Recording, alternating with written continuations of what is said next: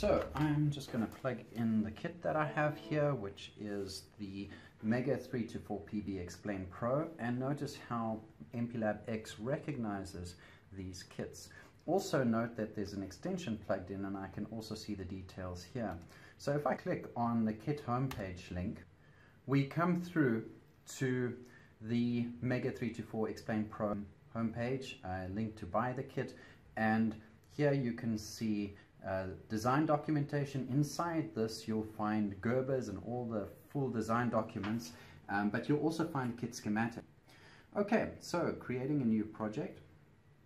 Um, standalone project uh, for studio users. This is like a GCC C executable project. And now you will notice that there is an 8-bit AVR MCUs. And what I'm going to choose is the 324PB to get going. Using the Atmel ICE, as you can see my hardware setup, the GCC toolchain, currently the same as the one from my Studio 7 installation, and uh, let's call this LED 3. So finishing. And our project is created and it is set as the main project. In that last dialog there was a, a checkbox where, um, which was set up and that was that you set this as the main project.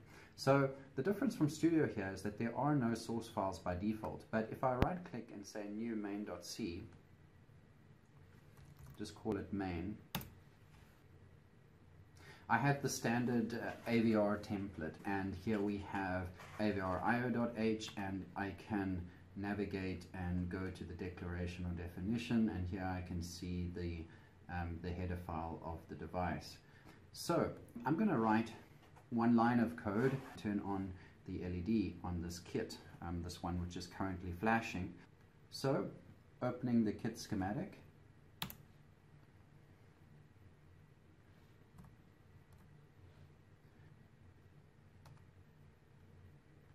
and here I can see that there's a user button and a user LED. So the user LED PC7 is what I'm wanting to set and I can see that I need to set this low to turn the LED on. So first of all that means I need to set this pin as an output and set it as low. So let's just navigate quickly to the data sheet of the device.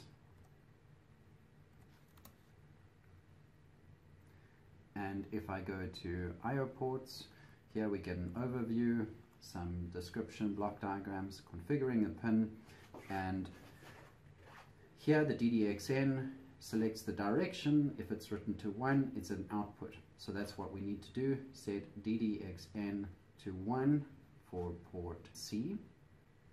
And then the other thing to note is if the port is written to logic 0, when it's configured as an output, the pin is driven low. So that's exactly what we want to do. If we scroll on, we can see a code example first in assembly and then in C. And here you can see setting up data direction register DDRB and then the port. So this is the pattern that I'm going to use. And for me it is DDR and then I can control space and it'll complete for me so I've got the options so DDRC and that's what I'm writing to. And it's one and DDRC control space 7 is the one that I wanted. Now we should need to set the port register as well, port B, but let's just have a look at the pin description of port C. This is the data register and note that the reset values are set 0 so uh, as soon as we set it as an output it'll be um, default low and we'll be able to turn on our LED. So this single line of code is all we really need to do. Now we should be able to click debug main project.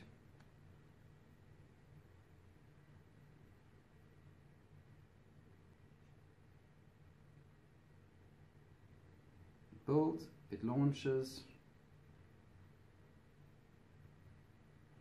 and we can see our LED is on. We can also just reset the device and we can uh, step and here turn on our LED. And there we go, we've written our first line of AVR code.